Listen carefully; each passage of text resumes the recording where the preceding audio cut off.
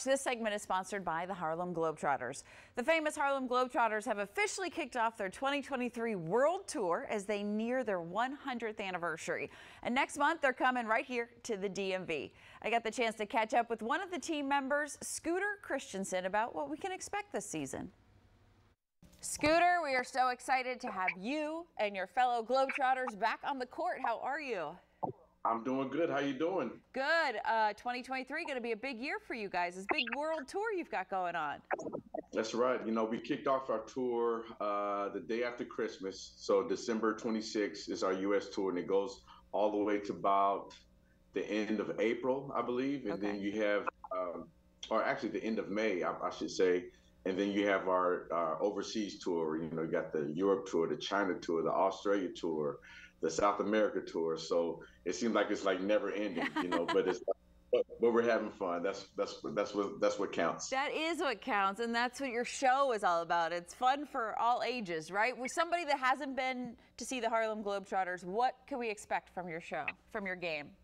Show. I always, I always tell people that it's not your average basketball game. You know, we have you know, we're, we're the type of team that makes you feel good. We're the type of team that makes you smile and puts joy and puts a smile on your face. You know, um, you know, you're gonna see you're gonna see some high flying dunks. You're gonna see some some basketball wizardry in our ball handling. We're gonna dribble on the floor as we're sliding on the ground, but at the same time, we're we're eating your popcorn and we're bringing your kids on and we're dancing with them. You know what I mean? So it's it's all mixed in one. Uh-huh. We do a uh-huh. great job basketball and entertainment at the same time. So it's it's very fun. And teaching people how to spin a basketball on their finger, right?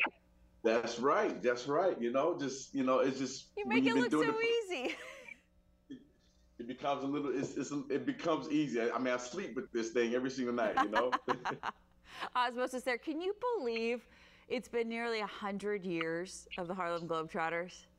I can't believe that. You know, uh, when people ask us that, we always say, you know, well, we haven't been around for right. 100 years.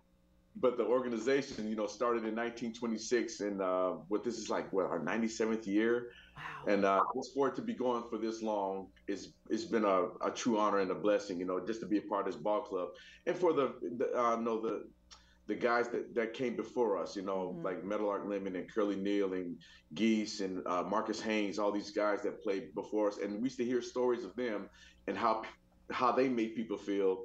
And hopefully, me and my teammates are doing that for the next generation for sure. What is your favorite part about being a Globetrotter? Ah, uh, I think it's you know it's definitely we get the opportunity to to play the game that we love. Uh, we get to change people's lives through the game of basketball and uh, I think it's just putting a smile on somebody's face, you know, because we all go through the, through days where we have ups and downs. Mm-hmm. But we know if we see at the Globetrotter game, we have that opportunity to make you laugh, make you smile, and make you feel good just for those two hours, you know, and and that changes uh, that changes people's lives. You know, we we've seen it, we've heard it, and to know that we can do that through the game of basketball is one of the best gifts that we can give our fans. Yeah, we've we've seen the power of sports and how it brings people together all the time. Of course, I mean, yes, you have your competitions and you know some friendly bidding going on there, but sports brings people together. How does it help you? It shape your life?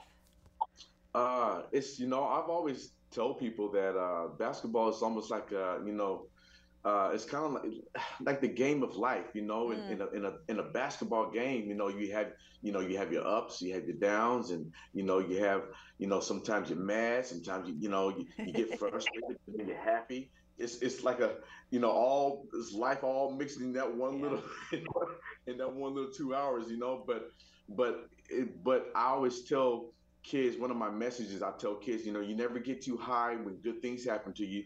You know, you want to get overconfident, you know, you don't want to get satisfied, but you want to stay hungry. And sometimes when things go down this way, don't get so low on yourself, you know, mm-hmm. you, where you just don't want to give up. You want to have an even kill and uh, and always have a smile on your face and just do the best that you can. Well, and you all help bring those smiles to everybody's faces. So we are excited that the Globetrotters are going to be in town. Scooter, thanks so much for taking time with us this morning. Thank you. Thanks for having me. All right. And you can go to harlemglobetrotters.com for the game dates and ticket information.